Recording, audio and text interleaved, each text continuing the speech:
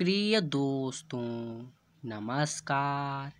आज के इस वीडियो में हम पढ़ेंगे एस को ज कब पढ़ते हैं।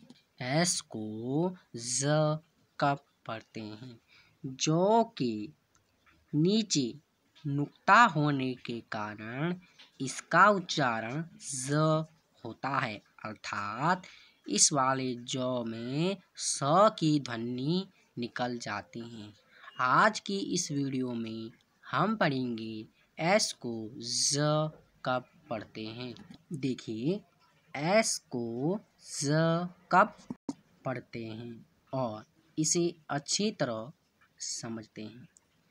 देखिए, यदि यदि किसी शब्द के अंत में B E G double G G E I E E F Y हो और उसके बाद एस हो तो वहाँ पर एस का उच्चारण ज किया जाएगा। यदि किसी शब्द में इनमें से कोई भी हो और उसके बाद एस हो तो वहाँ पर एस का उच्चारण स किया जाएगा। उदाहरण के लिए आपके सामने कोई शब्द है। इस शब्द के अंत में डबल जी है, जो कि हमारे इस नियम का पालन करता है और अंत में एस भी है। तब इस वाले एस का उच्चारण ज किया जाएगा। तब इस शब्द का संपूर्ण उच्चारण होता है एग्स ठीक उसी प्रकार। यहाँ पर शब्द के अंत में डबल जी है और शब्द के अंत में डबल जी है और उसके बाद एस भी है। तो यहाँ पर एस को ज पढ़ा जाएगा। तब इस शब्द का संपूर्ण उच्चारण होता है बैग्स।